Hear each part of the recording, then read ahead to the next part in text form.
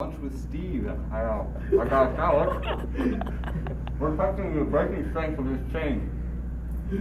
So we have a connector that we had on last year's, no, 2011 robot. It was a pretty creative way of making a chain without a tensioner, and we want to see if this can withstand at least 75 pounds, which is our design limit. So we're going to test over that. We're going to test 180. So everybody stand back in case it explodes, and we'll see what happens.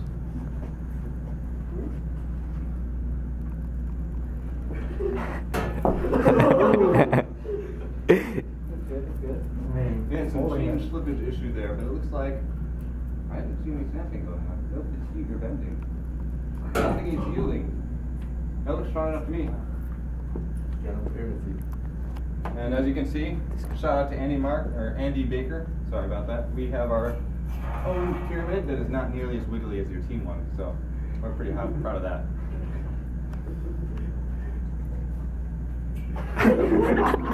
So uh, there, that's one piece, I guess.